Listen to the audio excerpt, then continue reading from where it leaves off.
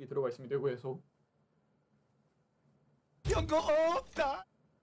연거 없다. 어, 유캠에 들어가 있는 기능 중에 하나인데 걔는 단축키가 안 들어가요. 근데 이는 테스트하고 있는 건데 요거를 이제 이 친구에 넣어가지고 이렇게 사용을 할 수가 있습니다.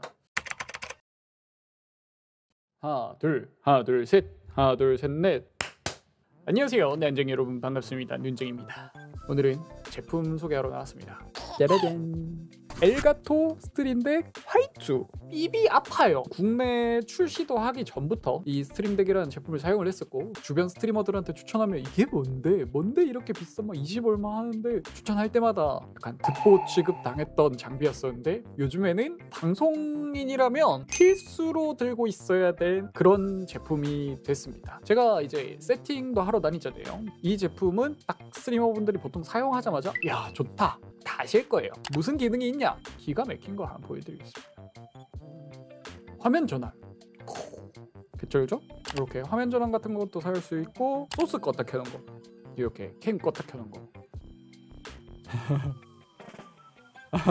버튼 하나로 화면 전환 같은 것도 가능하고 도네 후원 같은 거 있을 때 후원 영상 도네 재생하고 일시 정지하고 스킵 넘겨버리고 조명 아 그래 가장 중요한 거 Elgato 조명을 껐다 켜는 것도 됩니다 지금 제가 세팅해 둔 거는 전면에 조명 하나랑 요것도 엘가토 스트립인데 보면은 어, 자 잠깐만요. 이건 소개할 친구인데 지금 등록이 돼 있어가지고 같이 켜진다. 이렇게 조명 같은 경우도 껐다 켰다 되고 밝기 조절되고 색 조절되고 막 다 됩니다. 근데 이거는 진짜 기본적인 기능이에요. 이 기능을 연동해 가지고 제가 요즘에 이제 역캠분들 딱 세팅을 하고 가면 이거 진짜 많이 쓰시거든요. 화면 전환에서 다중 동작이라고 동작들을 프로그래밍 짜듯이 뭘 하고 몇 초 뒤에 뭘 하고 몇 초 뒤에 뭘 하고 몇 초 뒤에 뭘 하고 이렇게 막 만들 수가 있습니다. 그거를 지금 보여줬던 걸 연동을 해서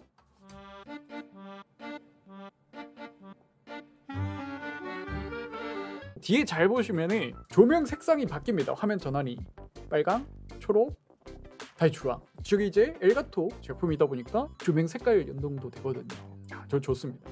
국내 출시를 안 했어요. 스트림류 제품 중에서 제가 알기로는 거의 유일하게 flicker가 없어요. 가격도 싸고 아무튼 이거 말고도 진짜 각종 프로그램들이랑 다 연동을 해서 쓸 수 있어요. 일단 저는 이제 Spotify랑 연동해가지고 음악 재생 넘기기 이런 것도 되고 Discord도 되고 Ableton Live의 마이크 보정하고 이런 프로그램들을 사용을 하는데 지금 이 마이크입니다. Elgato Wave DAW랑 연동을 해서 사용할 수 있지 않지만 좀 비싼 장비들 세팅할 때는 전 DAW로 세팅을 하기 때문에 근데 그 DAW랑도 연동해서 단축키로 막 할당을 할 수 있어요. 비싼 오디오 장비 자체랑도 막 연동해서 쓸 수 있고 그러니까 외부 프로그램이랑도 연동해 쓸 수 있고 요거 Elgato Wave USB 마이크 같은 경우도 여기 보시면 제가 이제 단축키로 이렇게 등록을 해놨습니다. 이렇게 안녕하세요. 반갑습니다. 저는 땡땡입니다. 하, 하, 하. 이거 말고도 뭐 여러 가지 세팅을 해서 다 넣을 수 있습니다. 프로그램 한번 보여드리겠다. 개쩔게 화면 전환.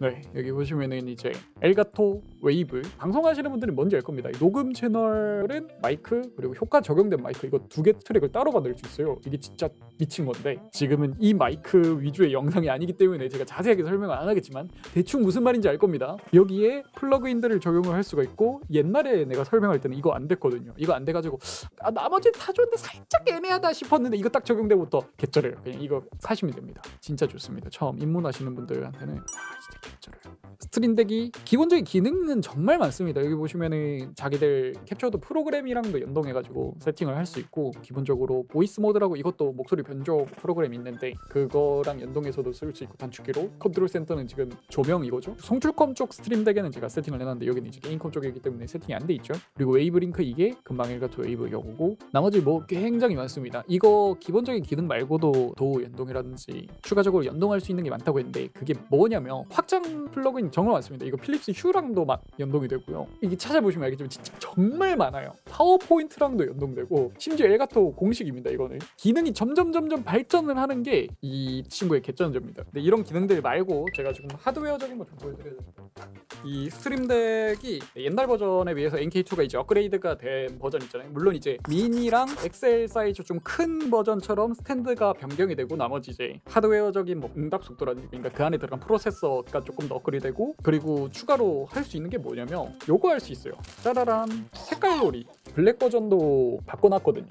짜잔 저는 뭘 바꿔볼까요? 진짜 엄청 많아요. 이게 예전에 받았던 것도 있고 이번에 몇 개 주셨는데 진짜 많습니다.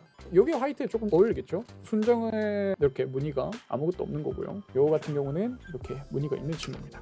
그냥 이렇게 그냥 똑딱똑딱 하기만 하면 이렇게 들어갑니다. 장착 자체가 굉장히 쉬워요.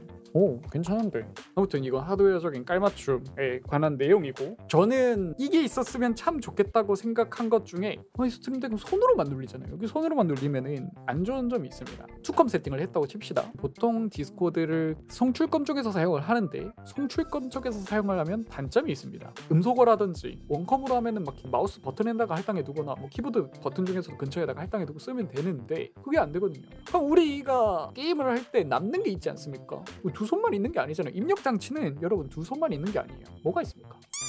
발이 있습니다. 발. 짜자잔. Stream Deck Pedal 버튼이 총 3개가 있습니다. 이 버튼 같은 경우는 화면에 표시가 됩니다. 여기 보시면 이렇게 날아다닙니다. 이렇게. 버튼 3개밖에 못 들어가기 때문에 preset을 할당을 해서 줄 수가 있거든요. 여기다가 뭐 프로필 전환 같은 거 해가지고 Stream Deck Pedal에다가 프로필을 이제 여러 개 만들어가지고 할당을 해줄 수가 있습니다. 여기 default profile인데 새로운 profile 하나 더 만들어가지고 여기다가 뭐 다른 거 화면 전환 할당 해두고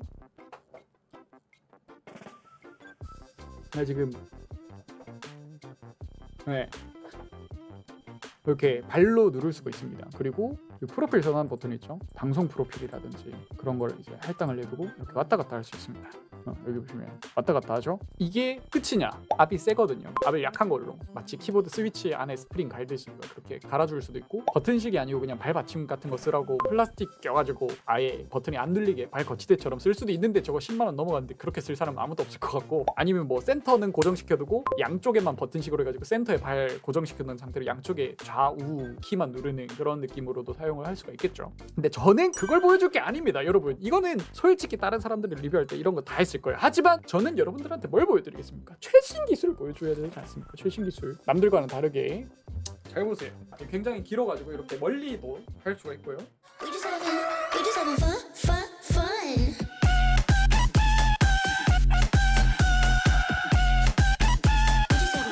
여기다 이제 키를 할당을 해가지고 확대 효과 같은 것도 넣어 사용할 수 있어요. 지금 약간 피부가 보정같이 들어갔을 텐데 이건 지금 확대 효과에 들어있는 것 중에 하나인데 이게 보통 6gem에 이런 기능이 들어가 있습니다. 이거에서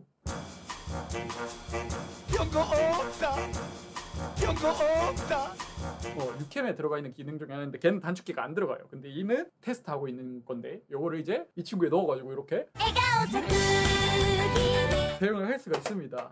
뭐 스트림덱에도 당연히 할당이 가능한 거지만 이런 걸 활용을 해가지고 저런 걸로 활용을 할 수가 있 다. 이 정도 보여줬으면 솔직히 살 사람들은 다 사실 거예요. 왜? 기능이 개쩔거든. 그리고 조명도 하나 출시가 됐습니다. 저는 엘가토에서 작은 조명을 내줬으면 좋겠다고도 항상 생각을 했었는데 이번에 내줬어요. 근데 아쉽다고 해야 되나? 저는 개인적으로 그냥 거치형을 좀 싸게 나왔으면 좋았겠는데 거치형만 쓰는 게 아니고 일반적인 촬영용 조명처럼 밖에 갖고 다니면서 사용을 할 수 있습니다.